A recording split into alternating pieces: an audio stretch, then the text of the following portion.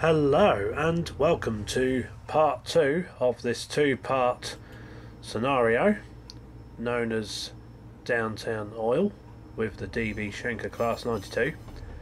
This part of the video concludes from part one and we will continue along the west coast main line only this time we'll be using the WCML over Shap route from Carlisle to Preston that will conclude this part of the scenario.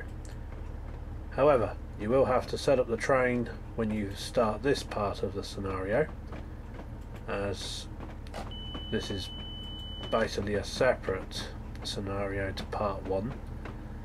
But apart from that, just like with part one, there will be some hills to contend with and you will be giving way to a couple of priority trains such as the first one that has accessed the bay platform at Carlisle. But apart from that you will be given the road ahead and also for this part although I've set the speed step to the maximum permitted speed limit of 60 miles per hour.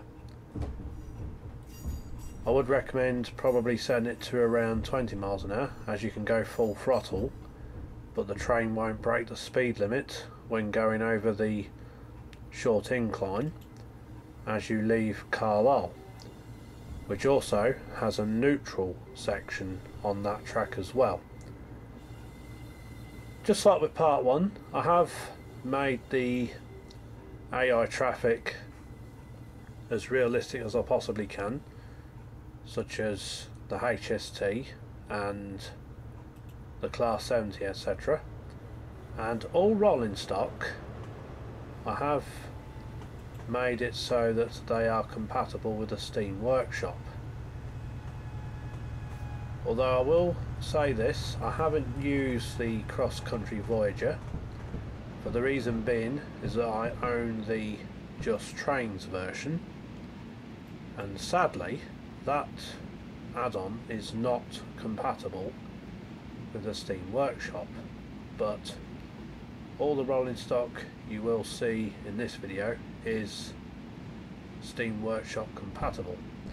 And it's most of the rolling stock that I use as standard in my scenarios as common rolling stock so that if you do decide to play the scenario yourself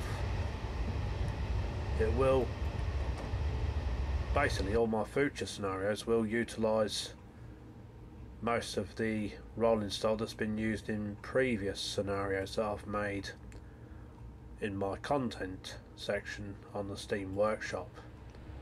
Basically I've done this so that if you own the rolling stock already you don't really need to buy any more. But anyways I will let you enjoy this video. I hope you will enjoy this one just like part one. And I will catch you all again when we arrive at Eden Valley up Goods Loop which is where you will have to pull over and let another passenger train overtake.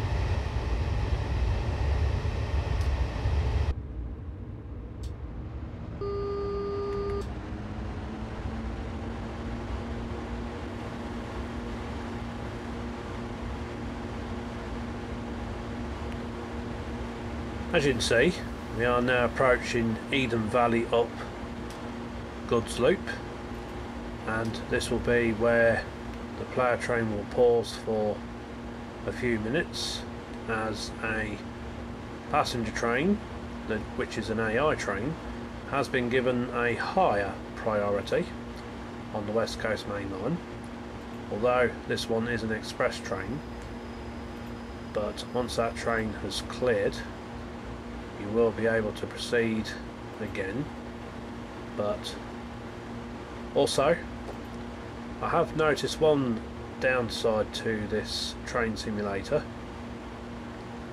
sometimes the passing AI trains that come from behind you can overtake with just only the headlights and couplings visible.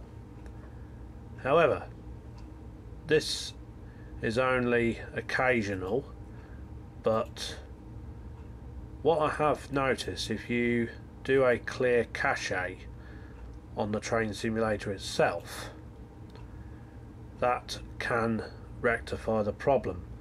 Although I have noticed that sometimes you have to do it more than once but that's from what I've learned why sometimes the AI trains can appear invisible which is a bit of a detraction but that's just one of the bugs with Train Simulator really. But likewise this is the second and the final stop of this scenario of part two of the two part downtown oil and what we'll do now we'll just pause here for a few moments to allow the express train to overtake and then we'll be proceeding onwards to Preston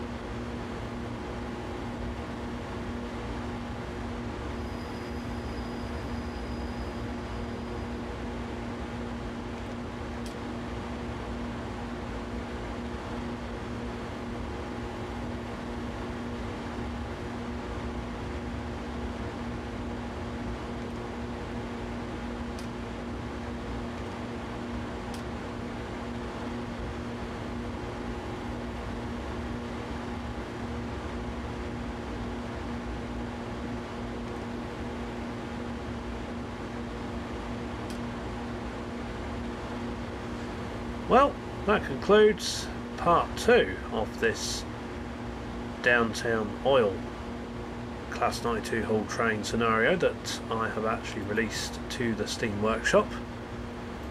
Just like the part one, I hope you've enjoyed this video as well. As usual, I do appreciate all positive and constructive feedback on all of my content. But that does conclude this video. I have provided a link to part two of this scenario in the description below. So if you want to give this a try yourself you're most welcome to do so. And it is quite a difficult scenario to do because there is higher priority AI trains to deal with as I've mentioned and also careful use of the power and the brakes are required when going up and down hills as the train itself is about 3,000 tonnes of oil on board as there's about 30 wagons. But likewise I hope you've enjoyed that video. Thank you for watching. Have a good week. Take care and bye for now